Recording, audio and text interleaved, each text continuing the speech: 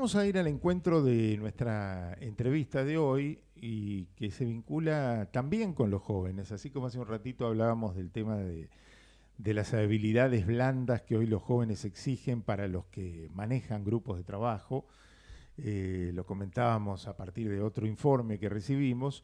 Bueno, eh, en este caso es un informe realmente muy, muy completo a propósito de, de lo que los jóvenes están viendo falta de proyección de posibilidades en la Argentina. Es un trabajo que se hizo desde la Universidad Austral y la tenemos en pantalla y en línea la investigadora y docente del Instituto de Ciencias para la Familia de la Universidad Austral, la doctora Cecilia Barni. Eh, Cecilia, bienvenida en domingo a nuestro programa. Aquí Alejandra Zúcol y Carlos Clerici la saludamos. ¿Qué tal? Una familia de radio. Buen día. Buenos días, qué lindo una familia de radio, ¿eh? qué lindo. Buenos días, muchísimas gracias por la convocatoria. Bueno, eh, la verdad que nos, nos llamó mucho la atención este, este informe, además por, por lo completo que está, sobre eh, esta problemática que los jóvenes están sintiendo y que tiene que ver con la formación o las deficiencias en la formación que después impiden el desarrollo de una vida tanto laboral como universitaria adecuada, ¿no? Sí, lamentablemente estamos con estos indicadores, pero como siempre digo, si nos ocupamos, y por eso les agradezco tanto la convocatoria, porque ustedes pueden ponerla en toda la sociedad, eh, si nos ocupamos bien, podemos solucionarlo. ¿sí? Hay esperanza, hay mucha esperanza. Por eso, por lo que ustedes me están llamando, es una de las razones para tener esperanza. Entonces estamos atentos y contentos de tener horizonte cercano y lejano, ¿no?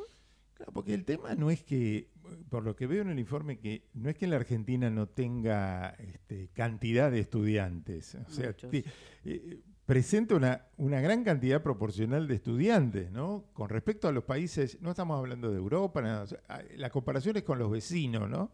De Latinoamérica. Y este, eh, uno ve que en otros países hay menos cantidad o menos proporción, pero los resultados son otros. Sí, y ahí eh, seguramente, perdón que te tutee, pero si me pueden tutear ustedes, estamos más cómodos. Eh, los resultados son estos que me parece que están mirando ustedes, los universitarios. Claro. Pero para llegar a la universidad, todos tuvimos que pasar por los niveles inicial, primario y secundario, que gracias a Dios Argentina, desde hace varios años, lo tenemos como obligatorio, ¿no? Desde los cinco años hasta quinto año del secundario, lo tenemos obligatorio. Entonces, eso es importante también recalcarlo porque tenemos esas herramientas que están en las leyes argentinas, en la Constitución y en los tratados que firmamos como país. Bueno, es obligatorio, pero también es cierto que hay mucha deserción, ¿no? Eso se da también. sí, claro, pero ahí tenemos que pensarlo, ¿no? Porque la, Constitución nos dice que garantiza la gratuidad de, la educación obligatoria.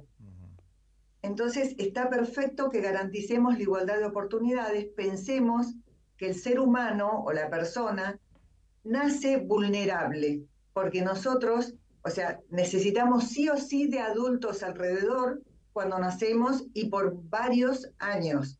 Entonces, esa gratuidad de la educación de inicial, primaria y secundaria es ideal, pero a la vez hay una obligatoriedad, porque dice gratuita y obligatoria. ¿Quién, ¿Quién es el responsable de esa obligatoriedad? Somos todos los adultos. Por supuesto, como primera medida la familia, y que pueden ser madre, padre, tíos, abuelos o la persona que esté a cargo de la, de la, de la niña o el niño, y si no, toda la sociedad. Eso es lo que intento con este informe, posicionar, ¿no? Que todos nosotros como sociedad somos responsables que las nuevas generaciones se eduquen. Muchas veces nos quejamos de los jóvenes, de esa falta de capacidades blandas, como recién decían ustedes, y demás, pero ellos no tienen la culpa de no haber sido formados así. Los adultos somos los responsables de no haberlo formado. Ahí veo que Alejandra me hace que sí con la cabeza. Gracias, Alejandra. exactamente, ¿no? Esta, este cambio de. Porque no saben de la información. ¿Qué información van a.? No saben de la información que vos querés que sepan, porque están súper informados, pero sentate a contarles un cuento. Escuchá a ver qué es lo que dicen. Esto de las actividades humanas, que por más que ellos estén súper informados, los humanos necesitamos humanos para, para aprender a caminar. Exactamente. Fíjate, vos diste ese ejemplo para aprender a caminar. Y hace muchos años, en un pedagogo del siglo XX, leí que si una mamá o un papá o un adulto, como dijimos, alguien de la familia, le contaba a una criatura cómo caminar, ¿cuándo iba a caminar la criatura? Y en la educación formal, no es mío, es de otro pedagogo. En la educación formal muchas veces les contamos, pero no los hacemos hacer. Eh. Y esas capacidades blandas se desarrollan a partir del hacer. Y si me dejaste, digo lo de la historia, vos dijiste contarle una historia.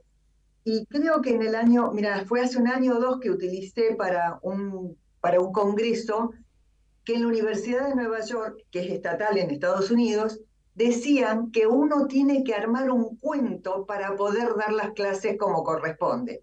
¿Por qué? Porque la persona, o sea, la niña, el niño, o el adolescente o el joven en la universidad, va a recordarlo más y lo va a aprender mejor si está dentro de una historia.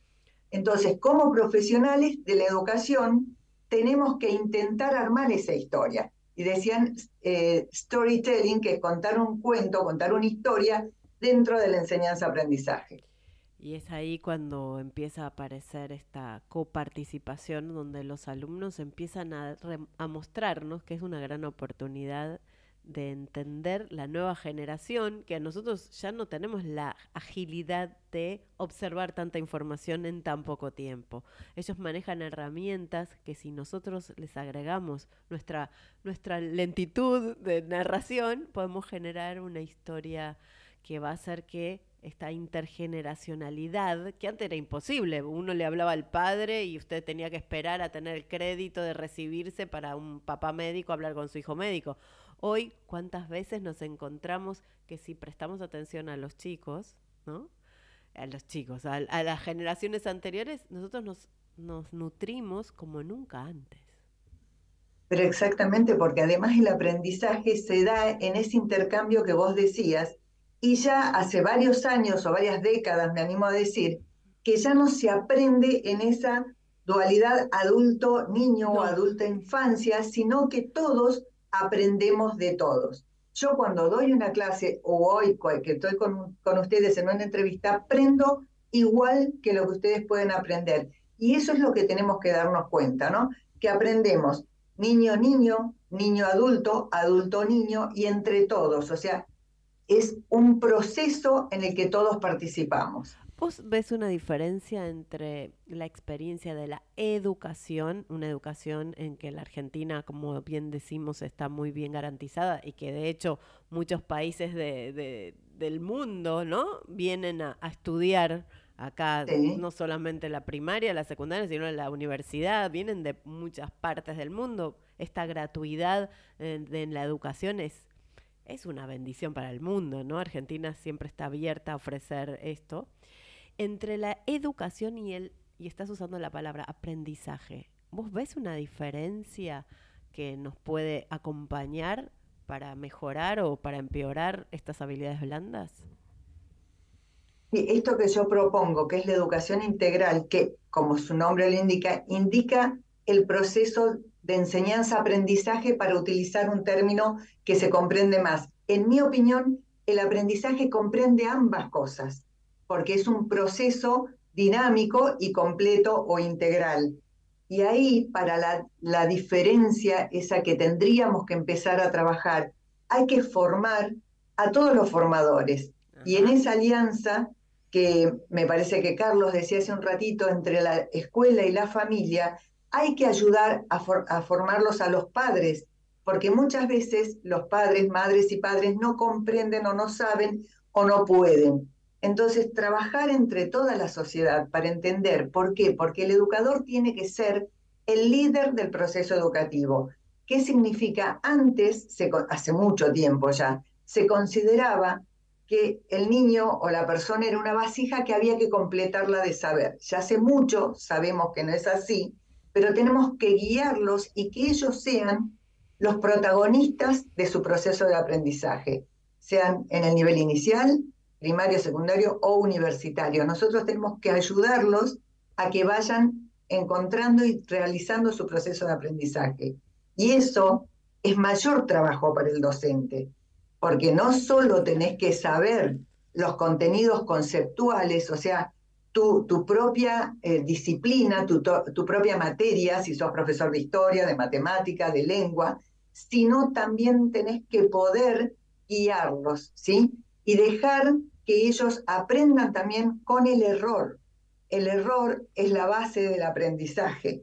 Y ahí cuando trabajamos con la familia, porque a mí me gusta decir que cada personita que transita por alguna institución educativa, porque no son solo las formales, también los clubes de barrio, los clubes de las escuelas de fútbol, la orquesta escuela, las parroquias, etcétera, todas las que pensemos donde están los niños o las infancias, están aprendiendo. Entonces, todos tenemos que conocer eso, ¿no?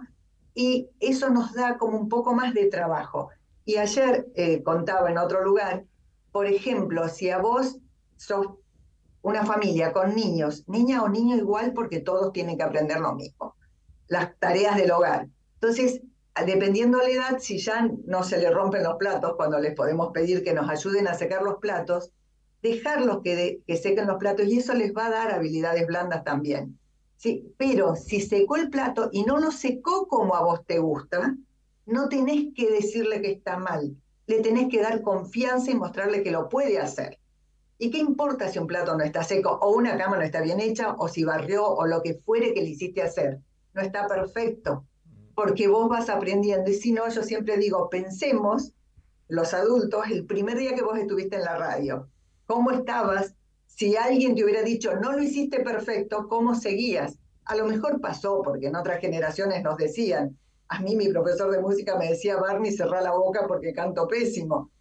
Y al día de hoy, fíjate cómo me acuerdo de eso. Claro, no, hace un millón de años. Porque no hay mala praxis en la educación, pero cuánta gente ha quedado traumada en esa etapa, que, que también se ha ido a otro lado a que no decirles nada. Bueno, tenemos que encontrar esa posibilidad de, de, poder acompañar el autoaprendizaje, porque ahora también todos se lo saben, todas los chicos, porque pasamos de nada, todo lo haces mal a todo lo haces bien. Entonces, esta importancia de, de que el porque tampoco es un Gracias, Alejandra.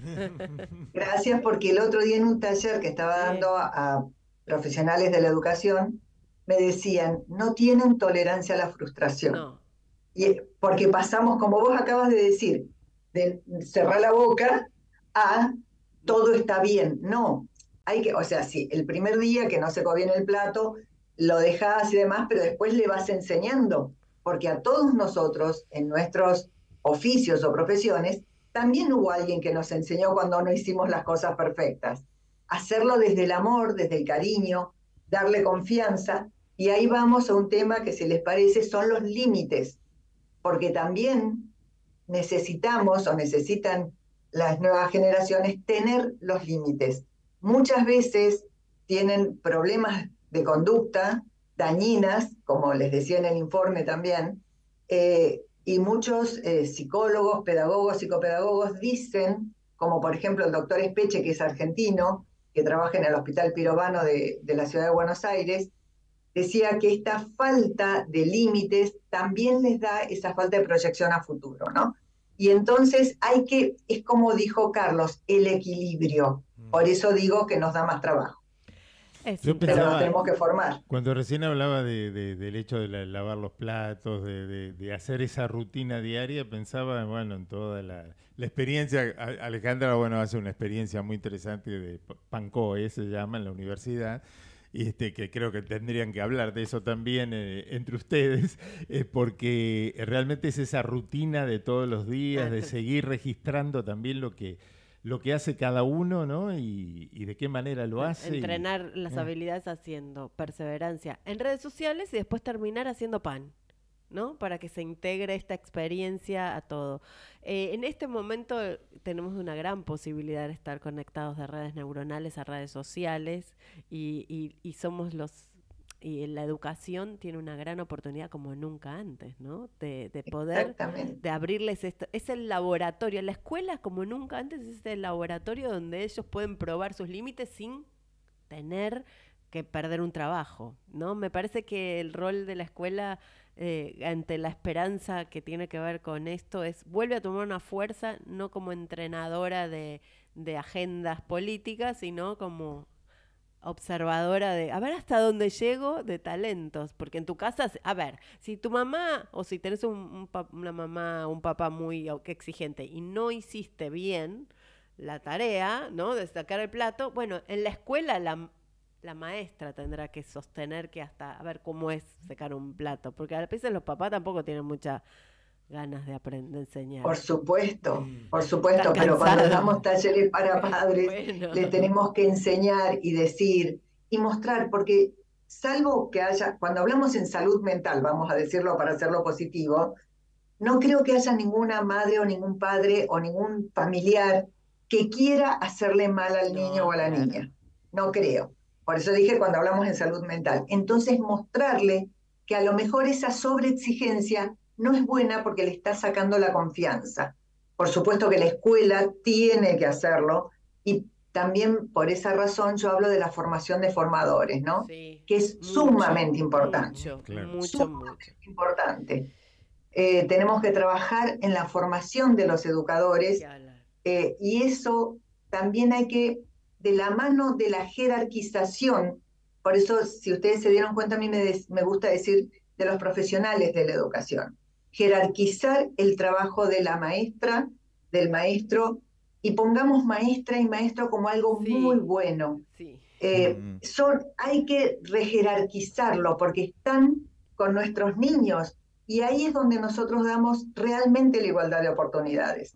Cuando vos en el nivel inicial y en la primaria, fíjense que me quedo hasta en la primaria, le enseñás a pensar, le enseñás a comprender lo que lee, le enseñás a regular sus propias emociones, que el nivel inicial lo hace, ¿eh? jardín, fijémonos que lo hace, a comprender las emociones, a regularlas, a desarrollar la perseverancia, la responsabilidad, etcétera, ¿no? Esas habilidades blandas que ustedes estaban diciendo. Hay esperanza si va hay escuela y si hay maestros. Y, hay maestros. una anécdota pequeñita, nos encontramos con una maestra de, una de segundo grado de colegio privado, eh, público, saben que una de sus alumnas se las encuentra pidiendo con, en la, mamá, con la mamá eh, en la calle. En la calle. Eh, obviamente hicieron las denuncias, el Estado solamente tomó nota, pero esa nena que cuando sale del colegio pide con su mamá en la calle, tiene este lugar, decía la maestra, en donde en esas horas de escuela puede comer, puede acompañarse y puede estar en un estado de educación y de aprendizaje más allá de la calle. Esto es lo pasa en la Argentina, ¿no? Eh, eh. Eh, la, imposibilidad de ayudarlos económicamente, pero la posibilidad de ayudarlos desde la educación. Somos un, un país bendito, realmente. Cecilia, bueno, habría una hora más para hablar, pero bueno, esto es radio y también tenemos tiempos. Este, nos encanta eh, los límites. Eh, nos encantó compartir este rato y vamos a publicar el informe completo también en nuestras redes. ¿eh? Muchísimas gracias, Carlos y Alejandra. Realmente a nosotros los investigadores nos gusta que nos convoquen porque es la forma que podemos contar a toda la sociedad lo que encontramos si no nuestro trabajo no tendría demasiado sentido. Gracias. Así que gracias. Adiós. Buen domingo. Chao. Muchísimas gracias. Igualmente para ustedes. Ahí estamos con la doctora Cecilia Barney, investigadora y docente del Instituto de Ciencias para la Familia de la Universidad Austral.